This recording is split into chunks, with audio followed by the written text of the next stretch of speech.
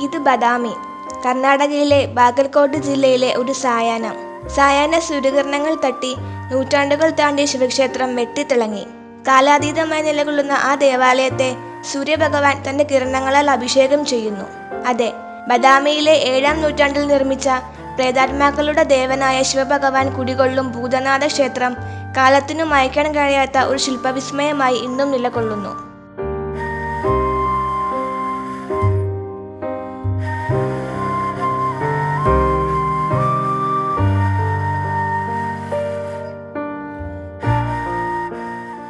തദ്ദേശീയരും വിദേശികളുമായിട്ടുള്ള ആയിരക്കണക്കിന് സഞ്ചാരികളെയും ചരിത്രാന്വേഷികളെയും കാലങ്ങളായും ഇന്നും ആകർഷിച്ചുകൊണ്ടിരിക്കുന്ന ബദാമി ഗുഹാക്ഷേത്രങ്ങൾ കർണാടകയിലെ ബാഗൽകോട്ട് ജില്ലയിലാണ് സ്ഥിതി ചെയ്യുന്നത്.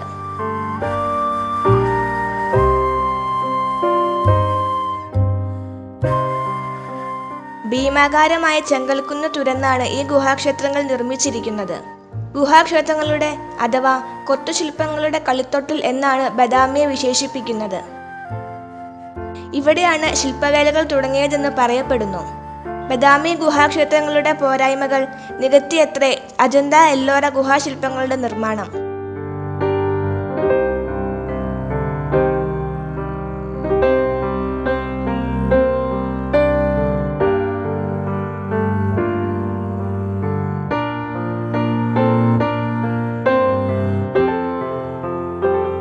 നാല് പ്രധാന ഗുഹകളാണ് ഇവിടെയുള്ളത്. ഈ ഗുഹാക്ഷേത്രങ്ങൾ നമ്മെ വിസ്മയിപ്പിക്കും. ഈ ക്ഷേത്രങ്ങളിൽ ശൈവ വൈഷ്ണവ ബുദ്ധ ജൈന പാരമ്പര്യത്തിന്റെ സൗന്ദര്യമാണ് കാണാനാകുക.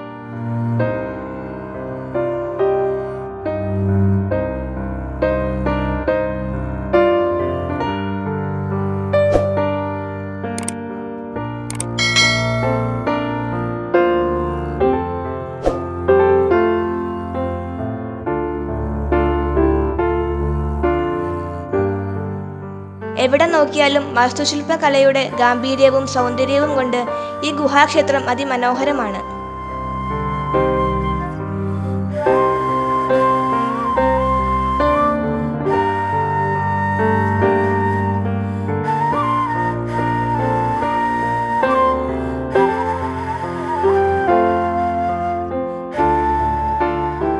ആറാം നൂറ്റാണ്ടിനും എട്ടാം നൂറ്റാണ്ടിനും ഇടയിൽ കർണാടകയുടെയും ആന്ധ്രാപ്രദേശത്തിന്റെയും ഭൂരിഭാഗം ഭരിച്ചിരുന്ന ആദ്യകാല ചാലൂക്യരുടെ തലസ്ഥാനമായിരുന്നു ബദാമി. ചാലൂക്യരുടെ ആദ്യകാല ഭരണാധികാരിയായിരുന്ന പുലകേശി ഒന്നാമനാണ് ഇത് അഞ്ഞൂറ്റി അൻപത് എ സ്ഥാപിച്ചത്. അദ്ദേഹത്തിന്റെ മക്കളായ കീർത്തവർമ്മൻ അദ്ദേഹത്തിന്റെ സഹോദരൻ മംഗളേശ ഒന്നാമൻ എന്നിവരാണ് ഗുഹാക്ഷേത്രങ്ങൾ നിർമ്മിച്ചത്. അവരിൽ ഏറ്റവും മഹാൻ പുലകേശി രണ്ടാമനായിരുന്നുവത്രേ. ഈ ചരിത്രങ്ങളെല്ലാം കൂടെയുള്ള ഗൈഡ് പറഞ്ഞതാണ്.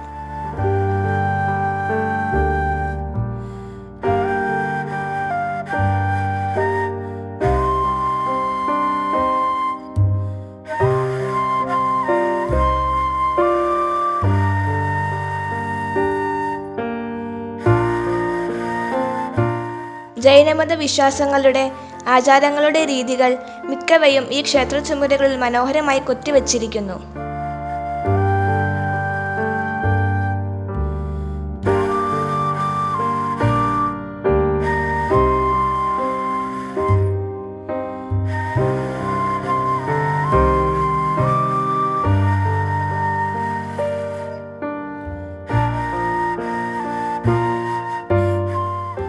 ബദാമയിൽ നിന്നും ഇരുപത്തിയഞ്ച് കിലോമീറ്റർ മാറിയുള്ള ഐഹോളയാണിത് ഭാരതീയ വാസ്തുശില്പ വിദ്യയുടെ ജന്മസ്ഥലമായാണ് ഐഹോള അറിയപ്പെടുന്നത്.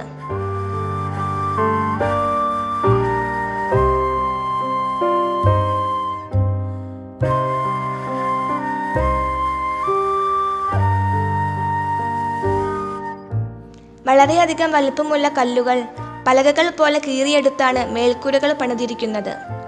ഉത്തരങ്ങൾ ചുമരുകൾ എന്നുവേണ്ട എല്ലാം കല്ലുകൾ മാത്രമാണ് ഉപയോഗിച്ചിരിക്കുന്നത്.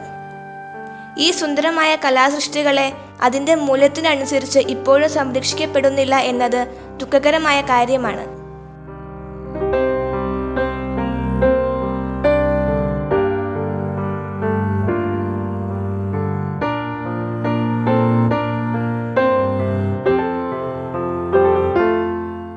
ചാലൂക്യ രാജവംശത്തിന്റെ തലസ്ഥാനമായിരുന്നു ഐഹോളെ പുലികേശൻ ഒന്നാമന്റെ കാലത്താണ് ഐഹോളയിൽ ക്ഷേത്രങ്ങൾ നിർമ്മിക്കപ്പെട്ടത്.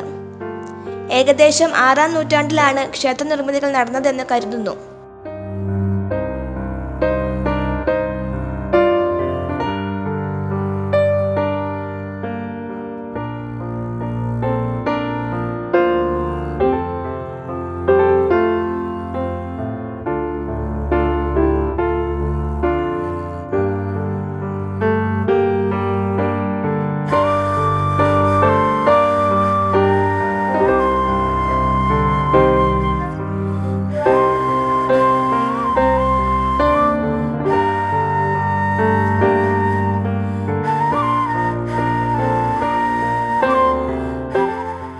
ഐഹോളയിൽ നിന്നും പതിമൂന്ന് കിലോമീറ്റർ ദൂരത്തായി സ്ഥിതി ചെയ്യുന്ന പട്ടടക്കൽ കർണാടകയിലെ ബാഗൽകോട്ട് ജില്ലയിലെ മലപ്രഭ നദീതീരത്തെ ഒരു കാർഷിക ഗ്രാമമാണ്.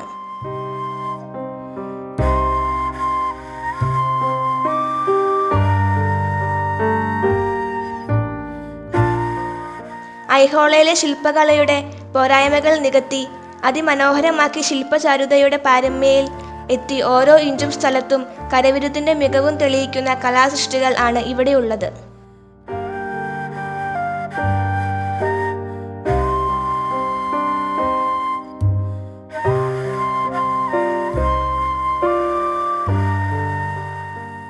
ഒമ്പത് ക്ഷേത്രങ്ങളാണ് ഇവിടെയുള്ളത്. ഒരു ക്ഷേത്രത്തിന്റെ കൊത്തുപണികൾ മുഴുവൻ പഠിച്ചു കാണണമെങ്കിൽ ഒരു ദിവസം വേണം. മുഴുവൻ കണ്ടു തീരണമെങ്കിൽ ദിവസങ്ങളോളം വേണ്ടിവരും.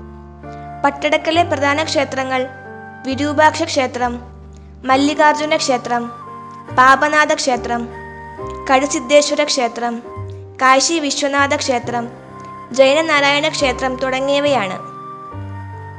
എല്ലാ ക്ഷേത്രങ്ങളും അതിമനോഹരങ്ങളാണ്.